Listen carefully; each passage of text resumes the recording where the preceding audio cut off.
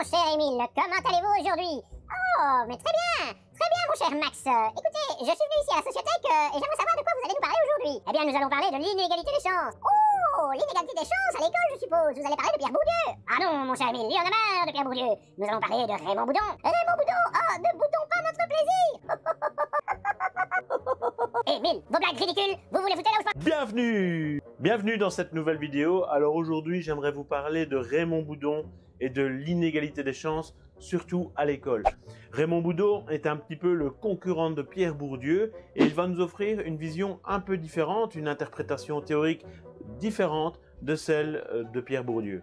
À l'époque où Pierre Bourdieu et Raymond Boudon abordent cette question des inégalités scolaires, on constate de réelles inégalités objectives. Un fils de cadre a beaucoup plus de chances d'atteindre l'université qu'un fils, par exemple, d'ouvrier. Raymond Boudon va définir l'inégalité des chances comme la différence de probabilité pour des élèves d'atteindre les plus hauts niveaux d'enseignement en fonction de leur origine sociale. Pour lui, il y a deux effets qui jouent et qui empêchent finalement les enfants issus des classes les plus populaires d'arriver sur les filières les plus valorisées socialement. Les enfants issus des familles les plus favorisées auront plus de ressources culturelles pour aborder les activités scolaires. Mais c'est la demande en éducation des familles qui est le principal vecteur d'inégalité scolaire. On constate statistiquement que les familles les plus aisées s'engagent généralement dans les études les plus longues, qui seront les plus valorisées socialement. Les enfants des classes plus populaires s'engagent généralement dans des voies d'enseignement beaucoup plus courtes. Ce constat est d'autant plus vrai lorsque les résultats de l'élève sont médiocres.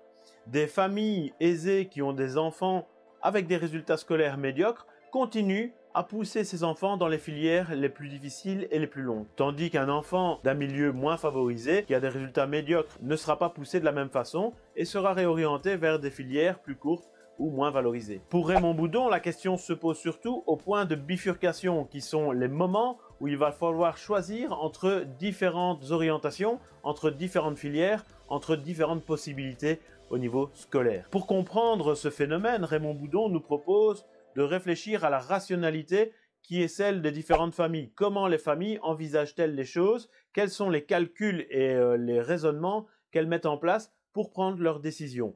Les différentes familles vont évaluer à la fois les bénéfices que pourront rapporter chaque étude, chaque type d'étude.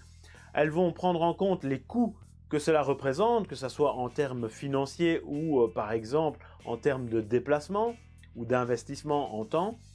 Et elles vont aussi prendre en compte le risque, le risque d'échec évidemment inhérent à chaque entreprise scolaire. Les familles les plus favorisées vont vouloir euh, rentabiliser l'effort scolaire avec des diplômes assez élevés qui permettront de garantir un statut social important, équivalent finalement à celui des parents. Il faut entreprendre des études plus longues pour euh, arriver, si pas au même statut social que les parents, ben, dépasser euh, finalement leur statut social. Et le coût que peut représenter ce type d'études n'est pas un obstacle, étant donné que ces familles-là ont justement beaucoup de ressources pour pouvoir assumer ces coûts. Dans les familles moins favorisées, étant donné que les parents ont généralement un niveau de diplôme moins important, la filière courte peut déjà être très rentable puisqu'elle permettra, si pas de conserver le même statut social pour la génération suivante, mais dépasser ce statut social puisque on pourrait avoir des familles qui n'ont aucun diplôme et donc obtenir un diplôme même dans une filière plus courte ou moins valorisée, c'est déjà un diplôme et c'est déjà une progression. Quant au coût, eh bien les études les plus longues ont un réel coût parce qu'en termes de déplacement, en termes